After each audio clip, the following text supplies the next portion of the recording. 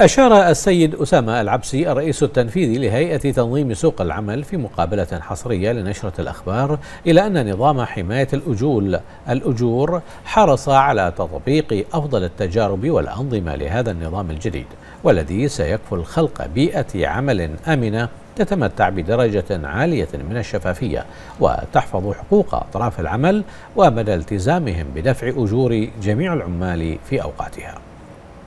نظام حماية الأجور هو نظام يضمن شفافية والتأكد من عملية دفع أجور آه، العمالة البحرينية والعمالة الوافدة في حسابات بنكية.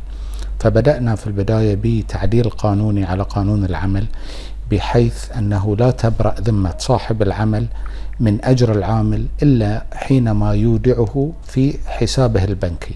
ولا آه، يكفي الدفع نقدا. وبعد ذلك آه، صدرت آه، القرارات من مجلس الوزراء الموقر حول الموضوع. والآن إحنا باستكمال بقية القرارات التي تصدر عن وزارة العمل وعن هيئة تنظيم سوق العمل.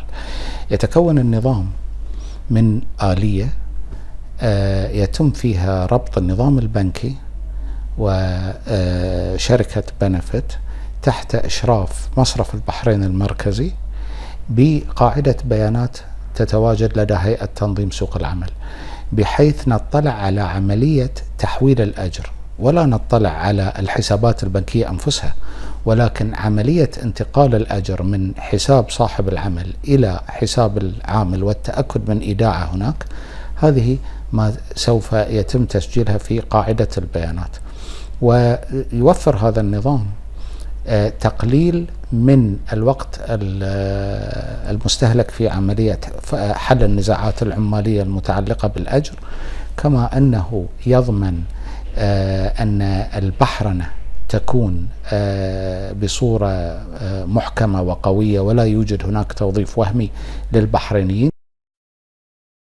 كما أكد العبسي أن تطبيق نظام حماية الأجور يوفر المجال أمام المحاكم العمالية أيضا للحصول على المعلومات اللازمة حول القضايا العمالية للإسراع في البت فيها ما يضمن حقوق العمال ويمنع الاستغلال ويعزز من مكانة مملكة البحرين دوليا في مجال مكافحة الاتجار بالأشخاص.